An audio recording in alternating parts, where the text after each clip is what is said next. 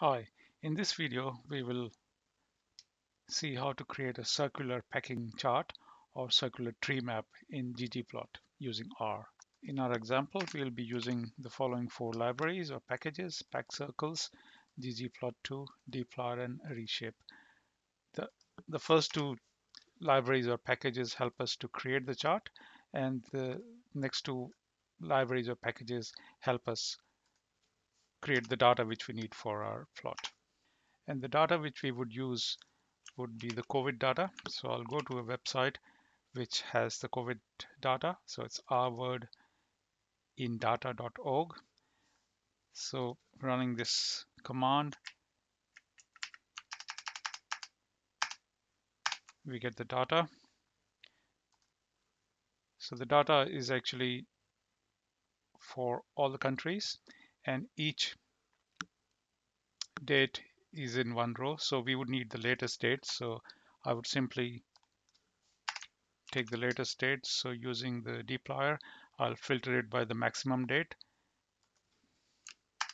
So this gives us the latest date data. So we only have one row of data, which is showing the current date or the latest date of uh, the data. And then we are going to melt it. So when we melt it, it has changed into a vertical or a, or a tall data. So you can see each country is now one variable in, in, in, this data. So we'll be using this data for our chart now. For our plot, I would only take the first top 20 countries. So here are the top 20 countries which we have.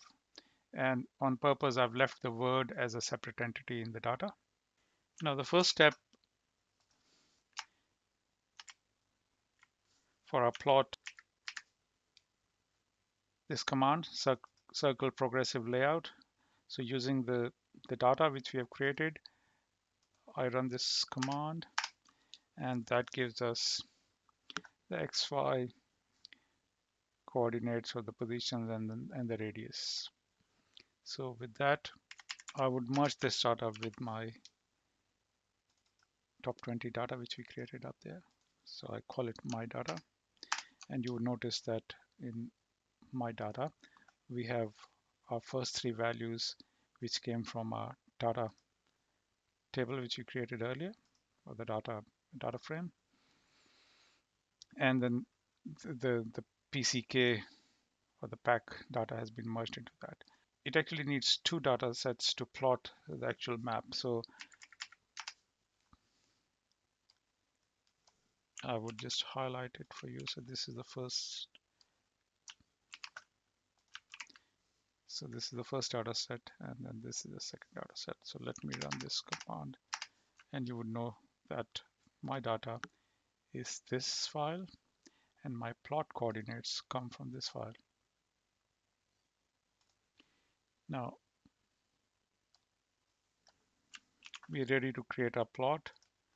So using the ggplot, we have the following um, commands so if I run the first command, second, third, and the fourth,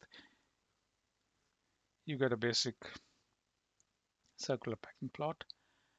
Now let's start refining it. You would notice that this is elliptical in, in, in, in shape. And we got to get rid of the, the gray background as well. So let's start doing it. So using the coordinates equal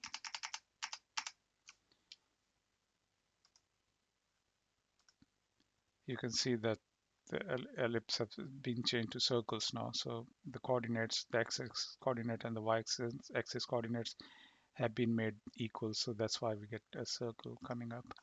Um, now I want to get rid of the, the gray. So I'm using the theme void and I also want to get rid of the legends. So I want to get rid of uh, legends by saying legend dot position equals none.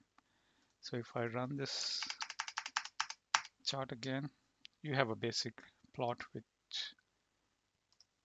is ready and now to add few more things we can have have the titles up there we can have a subtitle and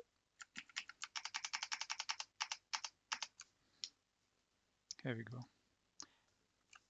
Now, if I wanted to change the, the, the fills, I'll use another package called random color and I would generate a palette of 20 colors 20 different distinct colors based on the red hue and if I add this command scale fill manual and the values is the palette which I created which is a 20 random colors based on the red hue so if I run the whole plot again you would notice that the colors have actually been changed now so this is how you create a basic circular packing chart and I hope you found this uh, information useful. Thank you very much for watching it and I'll see you in the next one.